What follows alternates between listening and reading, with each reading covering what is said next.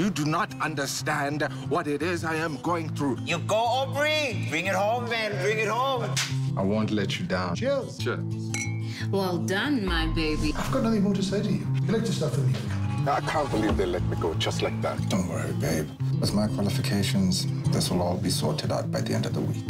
Come on! I am the right person for the job. uyabona le ngane indodana yakho What? Ah, I mean, look at him.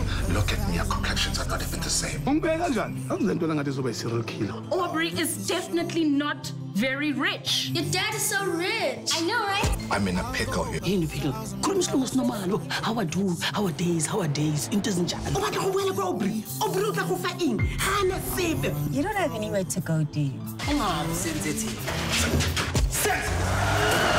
Even though I make you mad, you're still my number one dad. Ah!